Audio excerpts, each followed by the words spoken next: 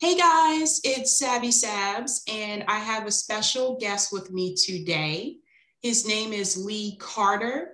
He represents the 50th District for Virginia House of Delegates. He's a socialist and he's running for governor of Virginia. Welcome, Lee. Thank you so much for having me on. Thanks for coming. So, before we get started, Lee, can you tell everyone a little bit about your background? Yeah, so I don't come from a normal background for a politician. I'm not a doctor or a lawyer. I'm not wealthy.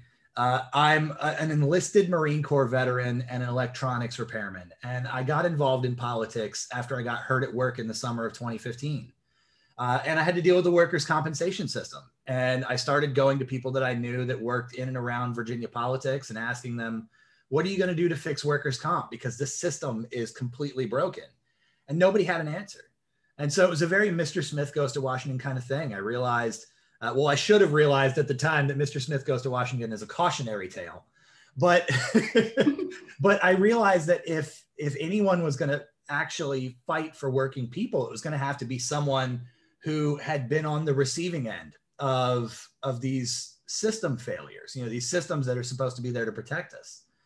Uh, and I took on a fight that the Democratic Party said was impossible uh, I took on an 11 year incumbent, a guy who was a, a, part of Republican Party leadership in a district that was gerrymandered specifically for him in 2011, and uh, got thousands of people out to vote who had never voted in a General Assembly race before uh, because I was talking about the issues that actually mattered in their life.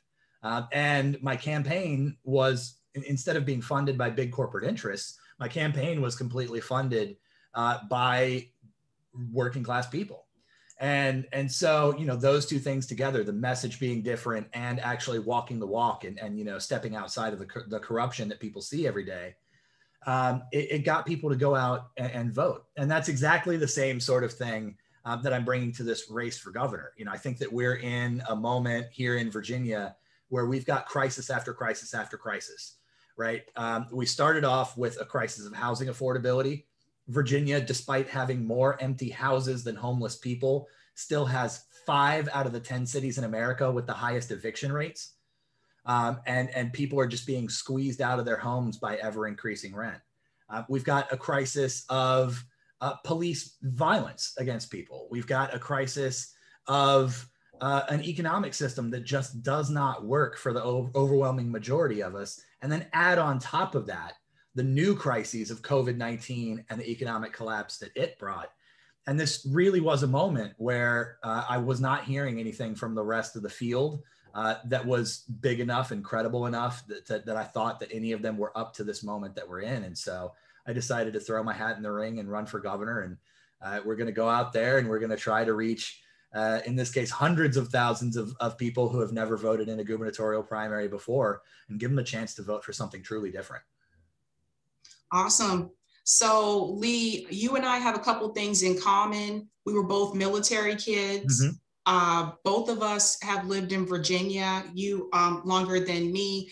And so I, I got to ask in reference to Virginia, because I know this question is going to come up. How did a socialist win in Virginia? Well, you look at uh, you look at the political system that we have, and people are dissatisfied just everywhere. Um, if, you, if you take the 2016 election, for example, the, the, the, presidential election, if none of the above were a candidate, none of the above would have won what, 43, 44 states? Uh, because there are people out there who say um, Republicans don't care about me and Democrats don't fight for me. So why should I bother? And the way that I got elected as you know, I'm, I'm the only socialist elected to any Southern legislature. I was the first socialist elected to any office in Virginia in over a century. Um, and I hope to become the first socialist governor in America's history, is because I'm actually talking about the real economic problems that people are facing and giving an alternative.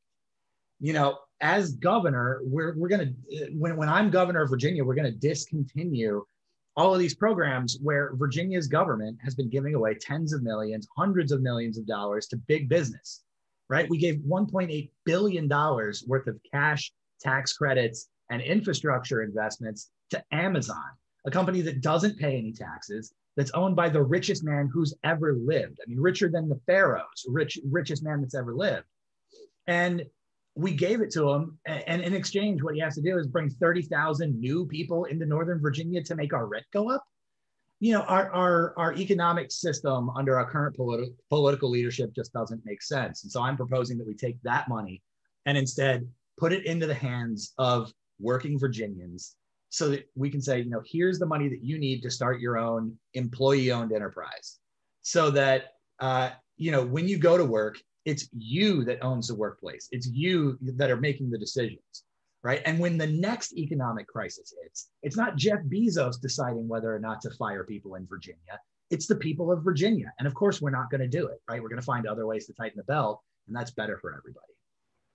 Yes, indeed. Um, I know a lot of people assume that Virginia, because it's in the South, and the South typically has a lower cost of living, that Virginia also would have a lower cost of living. But I know when I lived in Virginia, I thought Virginia was expensive. And like, yeah. I'm in Massachusetts, but there's parts of, I would say, especially Northern Virginia, right outside of DC, that are is pretty close uh, cost of living wise to what we have here in the Boston area. Yeah, I mean, I'm an hour outside of DC if there's no traffic, and there's never no traffic. Um, and you know, even out here, I'm paying almost two grand a month for a two bedroom apartment. It's the cheapest place in town. Um, and you know, with with the Amazon deal that I mentioned earlier, a lot of people asked me, you know, Lee, why are you why are you opposing this so hard? You know, this is in Arlington. This is 40 miles away from where you live. Why do you care? It's not going to impact your constituents. But the reality is that it does impact my constituents. I mean, in my building, rent went up 18% in a month because of that announcement and nothing else. That was before a single shovel hit the ground, before a single person got hired.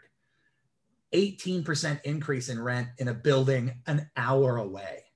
So, you know, the, the things that we're doing um, have a much, much bigger impact on on people's lives in ways that most of the General Assembly um, and most of the candidates uh, for governor just don't consider because they see that headline, right? 30,000 new jobs, and they, they can't pass that up, but they don't actually think about whether or not it's a net positive or a net negative for the people they're supposed to represent. And in reference to the new jobs, who would you say most of those jobs are for? Are they for college educated people or are they for people that, you know, have high school diploma? Like who would you say most of those jobs are for? Well, it's their headquarters. So um, it is people that are on the higher end of the education scale. Uh, but the biggest thing is it's people that are transferring in. Uh, you know, the, the overwhelming majority of these folks that are going to be working at the new Amazon headquarters are coming from Seattle, they're coming from California, they're coming from Pennsylvania, um, and they were already doing all right there. And so we're bringing people in that were already doing well uh, to try to pad our own numbers and say, look how much we've improved things on average, but we're not actually helping the people that are struggling. Um, we're just sort of pushing them out and, and covering them up with uh, new people that don't need the help.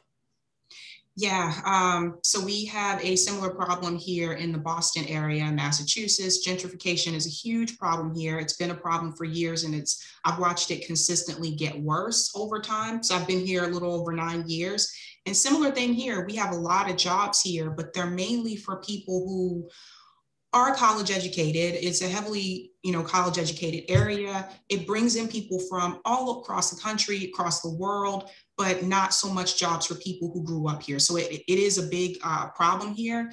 Um, when you look at, if you were to compare like Northern Virginia and there's Southern Virginia, and then there's the Western part of Virginia.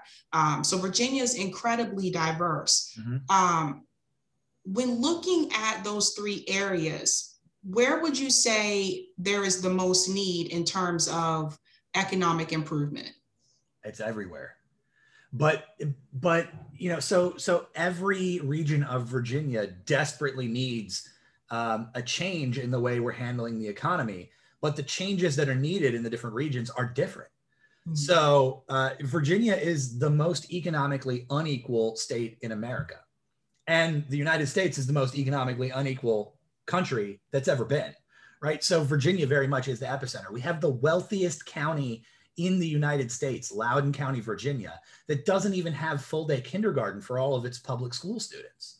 We have some of the poorest counties in America, down in the coalfields region, um, that their economy is just being eroded away uh, by you know these industries that are leaving one by one by one and there's nothing to replace them except for walmart and family dollar and payday lenders and those are seven dollar an hour jobs you know even in a place with a low cost of living like southwest virginia seven eight dollars an hour is not going to cut it.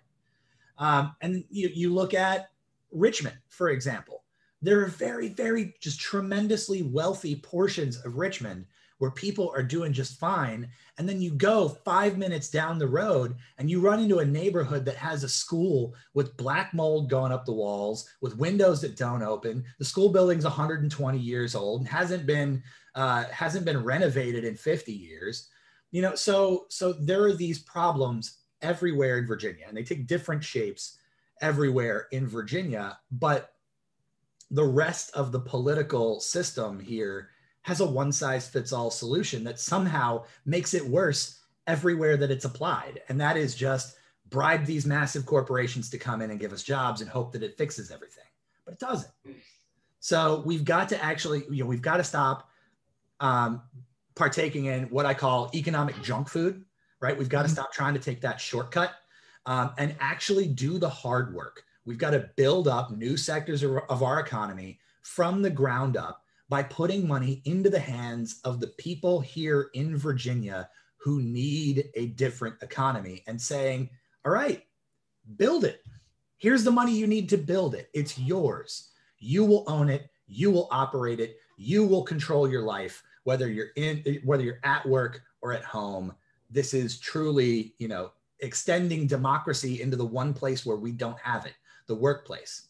But you know it's it's this principle where if if you're impacted by a decision you should be the one making the decision right? That's what democracy is. So we're just bringing that to the economy um, and i think that that gives much much better results for everyone.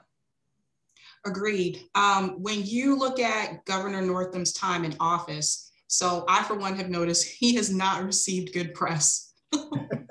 I know i know a little bit more about him than i care to know um, but what would you say, or where would you say that he went wrong? The place where he went wrong is um, just not breaking with his predecessors. You know, he continued the the policies of Terry McAuliffe, who's now running to be governor again. Um, and, and, Terry McAuliffe continued a lot of the policies of his predecessor, you know, the, the Republican, um, Bob McDonnell, right? And and so the the the place where we're falling short the most is on the issues where both parties agree. Uh, because both parties agree that we should just be giving these massive corporations more money. Mm-hmm. Both parties agree that uh, you know it's it's fine that we run uh, our taxation system in an incredibly regressive manner that has the poor paying more of their income than the wealthy, and both parties may agree on it, but it's completely morally wrong. Right. Um, so I know that one of the platforms uh, on your campaign is criminal justice reform.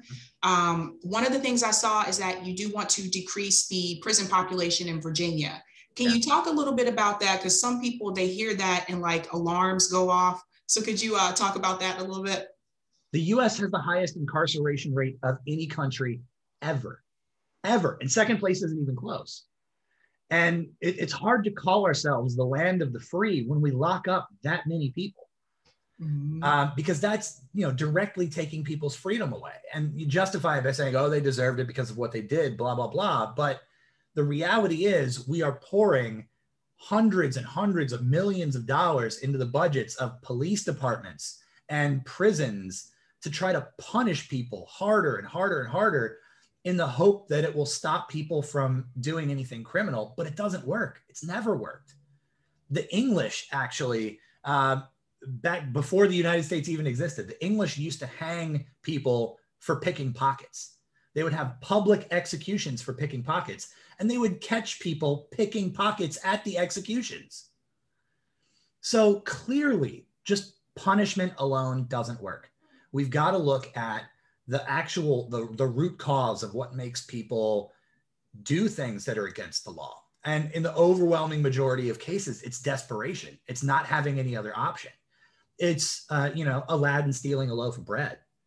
Um, but you know, if, if if we were to just just to demonstrate how bad the problem is, if if Virginia were to release 90% of our prisoners overnight, our incarceration rate would be the same as Japan's. Wow. And that's, you know, if we let 90% of people go, then we would come down to Japan's rate. 90%. So I'm not even talking about that, right? I'm talking about building a system that that rethinks public safety, that thinks, you know, what do we actually need police to be doing versus the list of things that police are actually doing, right? Uh, and instead of having someone with a gun go out and do traffic enforcement, that doesn't make a whole lot of sense. That's not going to make things better. Instead of having someone with a gun do uh, welfare checks or or be the first people called out to deal with someone having a mental health crisis you know that person with a gun is more likely to exacerbate the problem um, or to to give that person who needs help instead give them a criminal record that puts them in a more desperate situation for the rest of their lives instead of that we need experts who are actually trained to deal with these things to be the ones that are dealing with them and and leave police for the actual sort of dangerous things that everybody thinks of when they think of police. And instead of locking people away just because we can, right? Locking people away because they had a little bit of heroin, uh, locking people away because uh, they were on probation and they missed a check in. Instead of locking people away for all these things, we've got to come up with ways to help them follow the rules instead. Uh, yeah. and, and help them be more productive you know help them get out of the desperate situation that they're in that caused them to miss that probation check in or that caused them to feel that you know the only way i'm going to feel something this week is when i put a needle in my arm right we've got to help them um, and so as governor i'm going to push for all of these things through the general assembly i've been a leading advocate for uh, cannabis legalization you know i, I was uh, one of the first to put in a cannabis legalization bill back when other Democrats were asking, why the hell are you doing this during an election year? What are you doing to us? Right. And, and now we're on the verge of legalizing cannabis just two years later.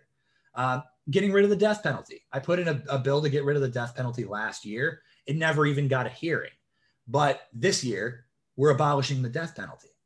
Um, and so, you know, I, have I've proven through my four years in the General Assembly that I, I'm willing to be that that first penguin off the cliff, uh, mm-hmm. and and and bring up these issues and say something needs to change that gets everybody thinking about it. And I'm going to keep doing that as governor.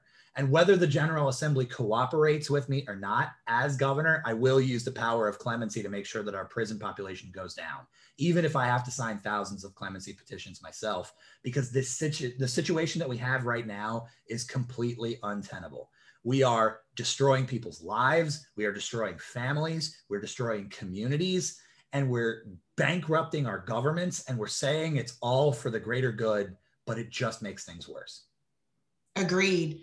Um, I can tell you, we legalized cannabis here in Massachusetts, and we have cannabis shops. Um, it has been really good for the economy. that's that's definitely for yeah. sure.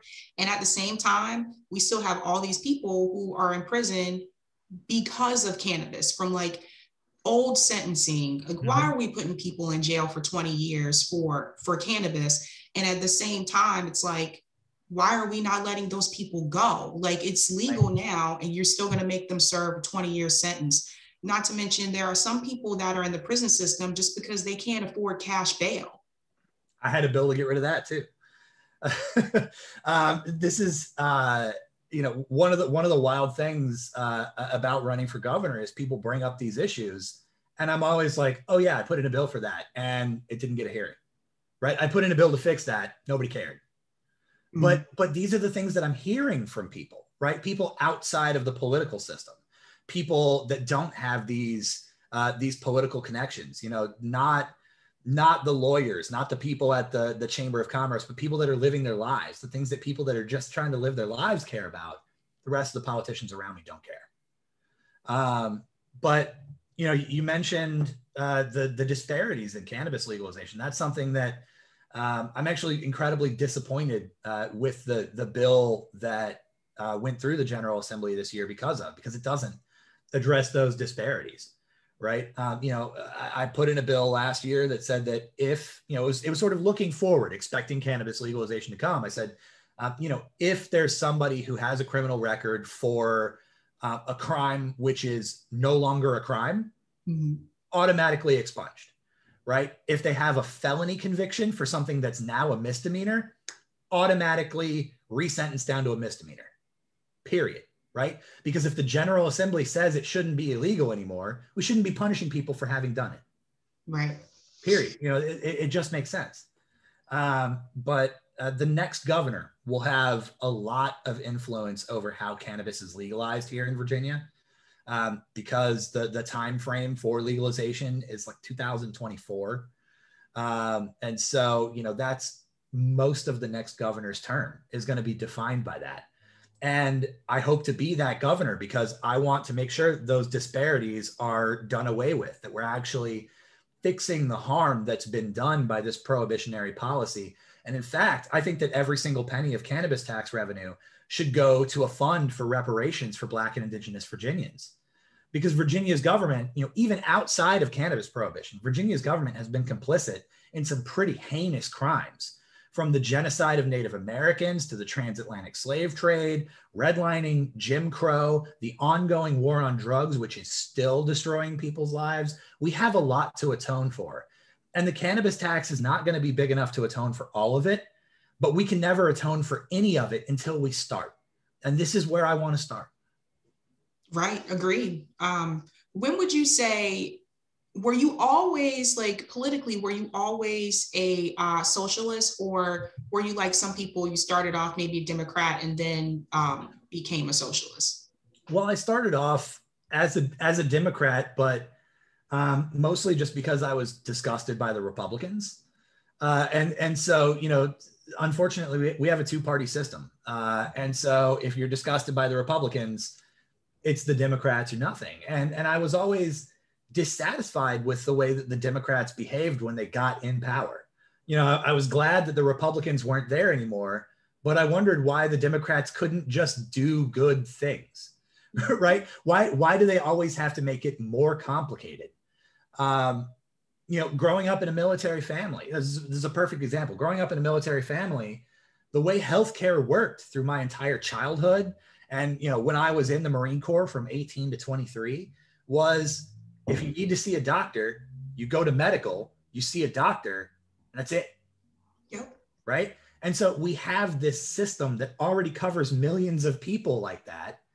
And the democrats get in power promising that sort of system for everybody.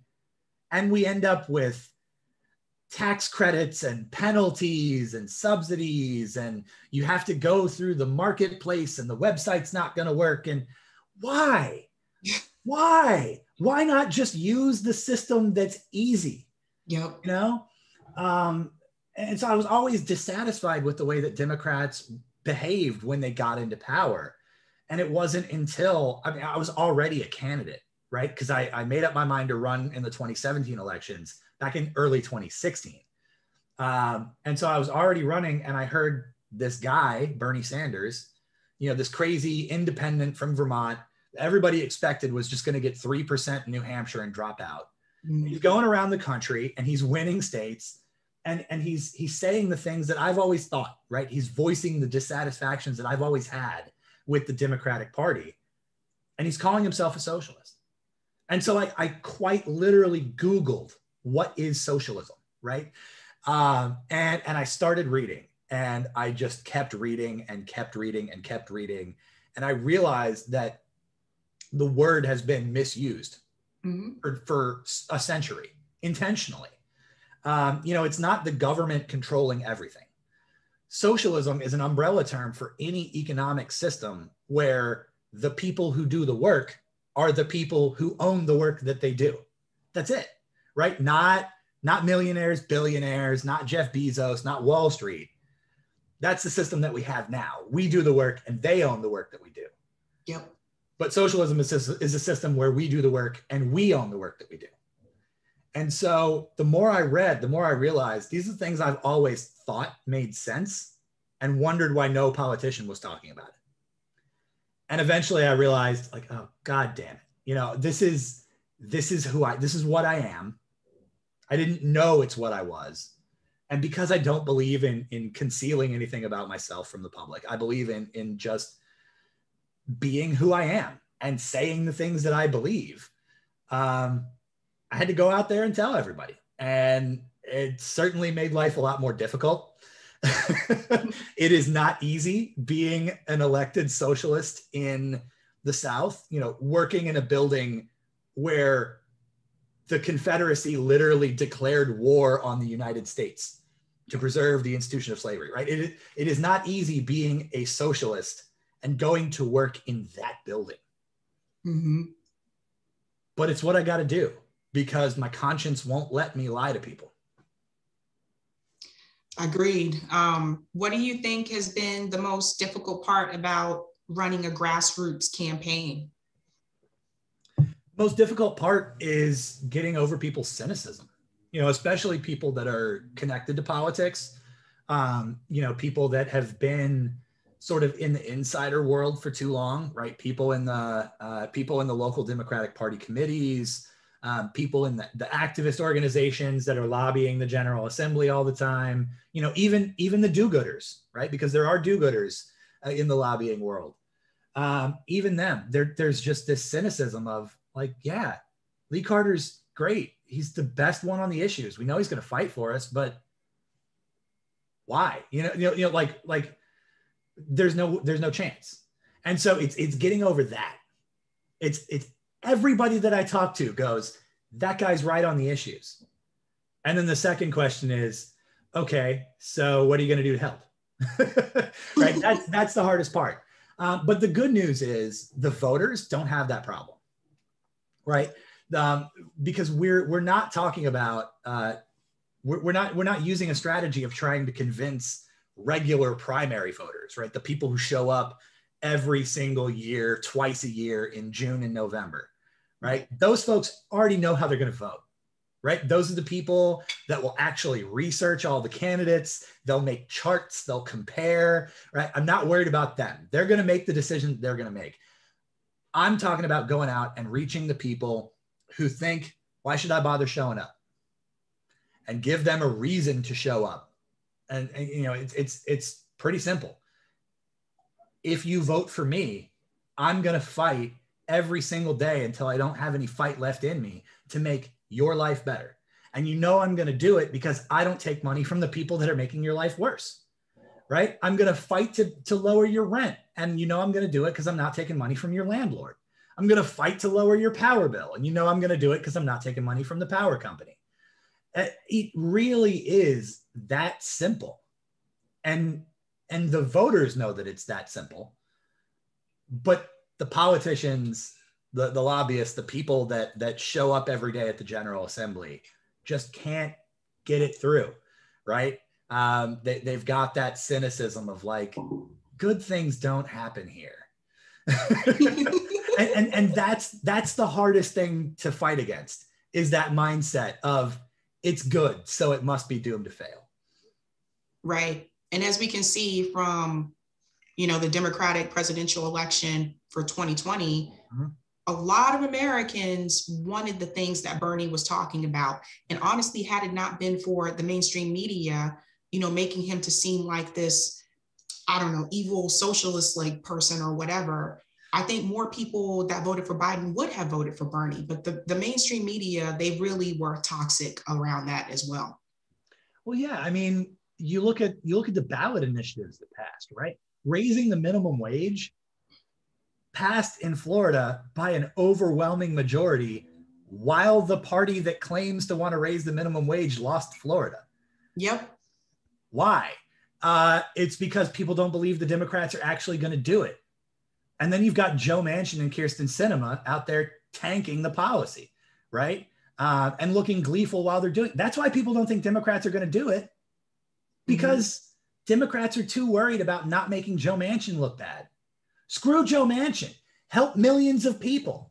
If Joe Manchin wants to oppose that, let him own that.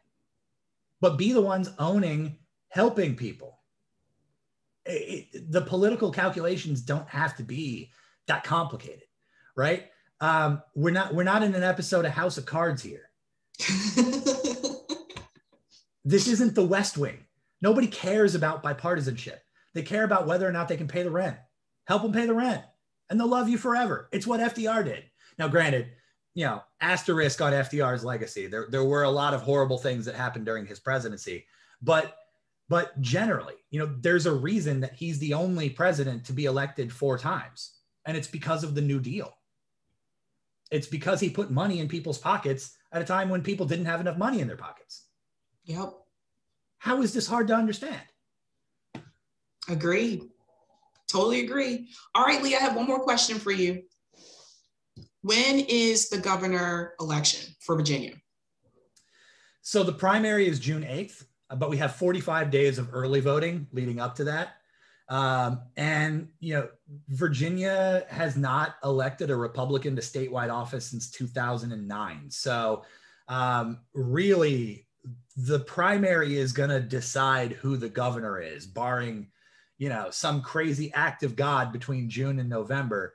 Uh, the election for governor is pretty much the primary on the Democratic side. So um, we've got a very, very short time period to get up with people um, and, and, let them know that that's the reality and that they're deciding in June who the governor is going to be. Um, but I'm confident that we're going to be able to do it. Uh, but in order to do it, I need everybody's help. Uh, you know, I've never taken a single dime from for-profit corporations or industry interest groups. I never have. I never will. And I'm the only candidate on the Democratic side that can say that.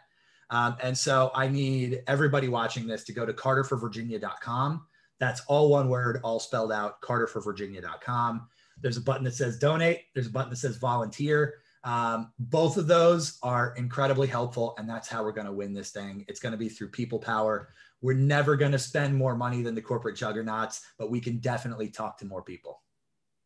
Awesome.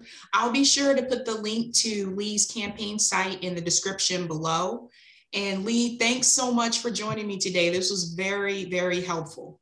Of course. And thank you so much for having me. All righty. Talk to you later. All right. Bye.